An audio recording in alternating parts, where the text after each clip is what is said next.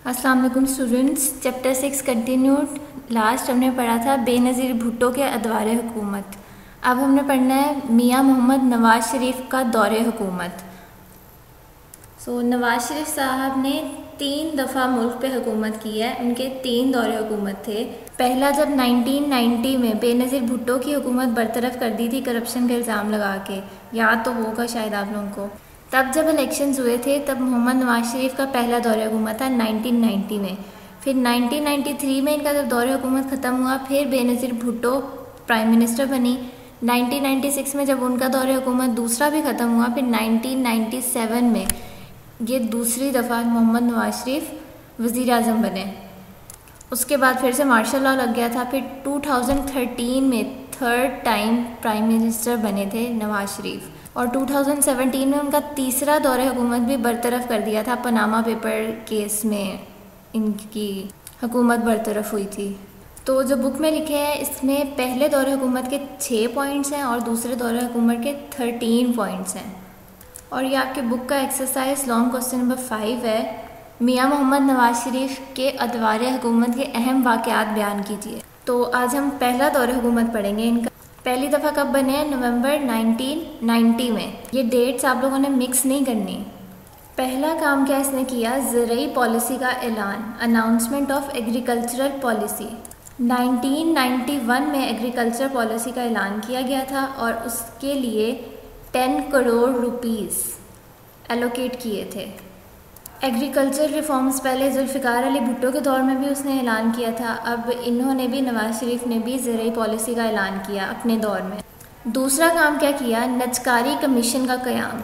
अब जो ज़ियाउल हक सॉरी जुल्फ़िकार अली भुट्टो के दौर में नेशनलाइजेशन हुई थी, अब इसके दौर में नवाज़ शरीफ ने क्या किया? प्राइवेटाइजेशन कर दी।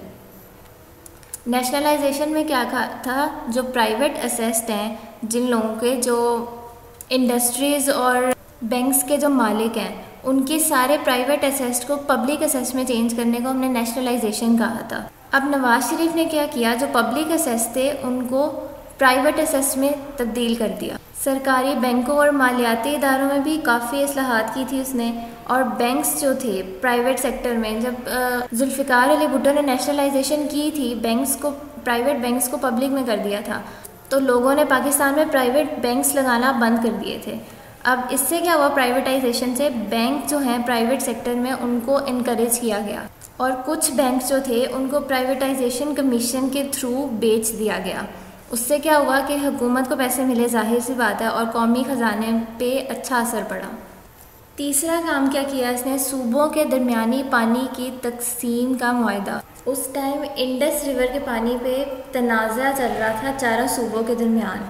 तो अब उस तनाज़े को हुकूमत ने किस तरह हैंडल किया कि उनके दरमियान एक माहा तय पाया, जिसकी, जिससे तक पानी की तकसीम का तनाज़ा ख़त्म हो गया। चौथा काम इसने क्या किया? 1992 में एक बैतुल माल कायम किया, जिससे गरीबों की माली मदद की जा सकती थी।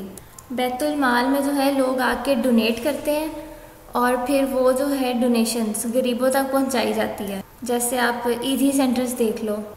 फिफ्थ पॉइंट है फॉरेन पॉलिसी अब बाकी प्राइम मिनिस्टर्स की तरह इसने भी क्या किया? नवाज़ शरीफ के दूसरे ममालिक के साथ अच्छे ताल्लुकात रखने के लिए पॉजिटिव चेंजेस लाया। लाइक like, अफ़गानिस्तान में क्या मैं अमन के हवाले से अफ़गान अफ़गानिस्तान के मुख्तलिफ़ लीडरों से मुजाकर करके क्या मैं अमन की खातिर मुख्तलिफ़ ग्रोहों में सुलह कराने की पॉलिसी जारी रखी? इससे अफ़गानिस्तान और पाकिस्तान की अच्छे ताल्लुक बने। फिर मसला कश्मीर के लिए भारत को बुलाया था लेकिन ज़ाहिर है वो मसला हल हुआ ही नहीं आज तक। तो बेमकसद था। तो इंडिया के साथ ताल्लुक आज भी कुछ अच्छे नहीं हैं कुछ क्या बिल्कुल भी अच्छे नहीं हैं। जंग करनी है जंग करनी है। 1992 में फिर भारत ने इंतहा पसंदों ने बाबरी मस्जिद को शहीद किया था और उसमें round about 2000 people were killed तीसरे फॉरेन रिलेशंस पाकिस्तान ने बरकरार रखने की कोशिश की अमेरिका के साथ, अमेरिका। अमेरिका ने इराक पर हमला किया तो हुकूमत पाकिस्तान ने मुहतात पॉलिसी इख्तियार की। 1991 में ये हमला हुआ था, इराक पे अमेरिका ने किया था और इसको हम गल्फ़ वॉर भी कहते हैं, Gulf war 1991 six and the last point is अवामी मंसूबे national plans different schemes launch की थी like national construction programme launch किया था सेल्फ एम्प्लॉयमेंट स्कीम जिससे बेरोज़गार लोगों को रोज़गार मिल सकता था। मोटरवे प्रोजेक्ट स्टार्ट किया और yellow cab scheme for betterment of people which prove to be quite successful फिर इनकी बरतरफी कैसे हुई? वही पुराने किस्से। सदर गुलाम शाह खान ने जिस तरह पहले बेनज़ीर भुट्टो की हुकूमत बरतरफ की थी, नवाज़ शरीफ को भी आइन 58 टू बी का सहारा लेकर इनकी हुकूमत भी बरतरफ कर दी। इनकी हुकूमत कितनी थी? तकरीबन अढ़ाई साल टू एंड हाफ़ ईयर्स अब जब उनकी हुकूमत बरतरफ कर दी तो मिस्टर बलख शेर मजारी को केयर टेकर प्राइम मिनिस्टर बना दिया गया। मुस्लिम लीग ने फिर सुप्रीम कोर्ट में अपील दायर की कि हमारा प्राइम मिनिस्टर तो बहुत शरीफ इंसान है, क्योंकि उसका नाम नवाज़ शरीफ है। तो सुप्रीम कोर्ट ने सदर के अहकाम को मुस्तरद करते हुए मियाँ नवाज़ शरीफ की हुकूमत बहाल कर दी।